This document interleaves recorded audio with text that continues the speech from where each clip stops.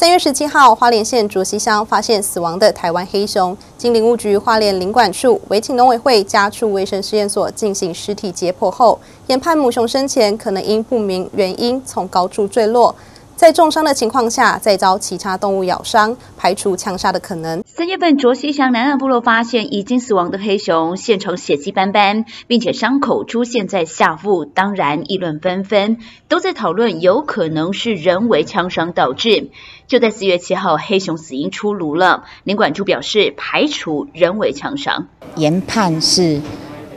在陡峭处滑落、坠落。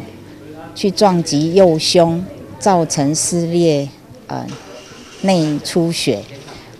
虚弱的情形下，受到其他动物的呃啃咬腹部，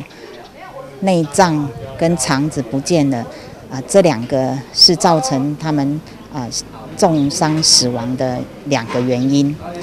那也同时经过解剖，头部跟其他部位并没有。呃，看到有枪伤的这个呃痕迹。另外，也针对这只母熊乳腺发达进一步说明，乳腺的部分已经算是后期，经过解剖发现，小黑熊差不多已经离乳，乳乳房的这个乳液已经是退缩了，啊，所以它也没有怀孕啊。这件呃，再加上我们呃事后一月呃。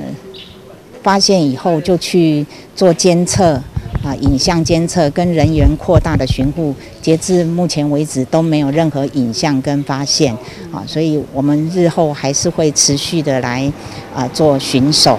居民对黑熊的死相当难过，第一时间用手点米酒洒向空中，向黑熊的灵魂致意。领管处说，由于小黑熊已经是离乳状态，呼吁山友或是部落的族人，如果有看到疑似黑熊踪迹，请立即通报，以维护濒危野生动物的族群勇士。记者高双双卓西乡采访报道。